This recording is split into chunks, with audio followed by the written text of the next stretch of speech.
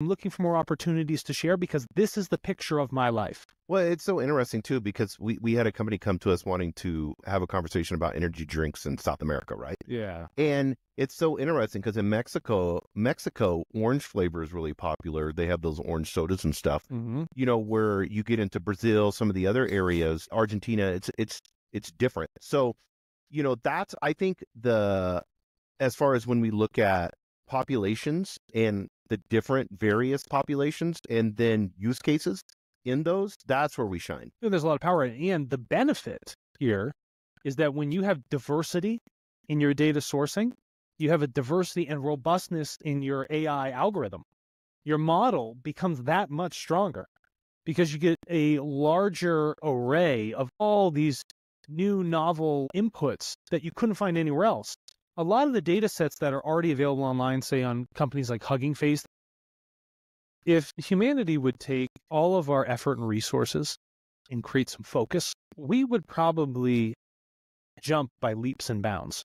But there's so much self interest, and there's so many people and businesses trying to fill the gaps from the mistakes and fuck ups they had before that they're creating all these other products and these markets are created for it. That's a It's it's really not that difficult. Mm. It's really not that difficult. Find simplicity in what you're doing. Realize it's not that hard, and get ahead of your competition. At the end of the day, it all boils down to doing one thing, and that's the right thing. At the same time, it's almost that. I mean, you're you're uh, well, we've talked about it. You know, Tartle eventually becoming a source of income for people Yeah. across the globe. well, it's doing it's it's quickly rising to that. Yeah. very fast. So, I mean, uh, uh, from a philosophical standpoint, that is doing good. And why why wouldn't you want to do that?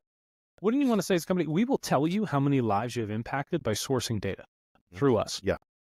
Don't you want that? Don't you want that on a report? Don't you want to send that to your investors? 100%. Don't you want to tell the public we're doing the right thing? Mm. Do the right thing when everyone else is doing the wrong thing. But evolving and adapting is how you scale. Evolving and adapting is how you grow. Why wouldn't you? Take- Ethically, it makes sense. Take the time. Economically, it makes sense. Yeah, It's making your models faster. Show me the loss here. That's right. Show me a lo- show, like explain to me a loss I I, for, for using Tartle data. I literally can't. That's what I'm saying. It's like it's a win-win for everyone. I sell.